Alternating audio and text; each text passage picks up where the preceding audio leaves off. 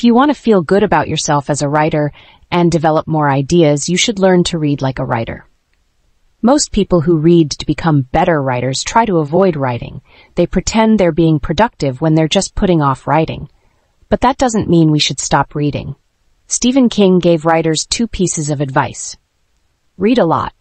Write a lot. The problem is most writers focus too much on the first part. They think reading alone is enough to become a better writer. They read without thinking. They don't think about how the story was put together or how they could do something similar. When we tell writers to study what they read, they often don't want to. Why is that? Many writers think they can't enjoy reading and learning simultaneously. This is not about repeating your old literature classes. If you like a piece of writing, stop and think why. This simple question changes your focus from studying to understanding. Like, comment, and subscribe.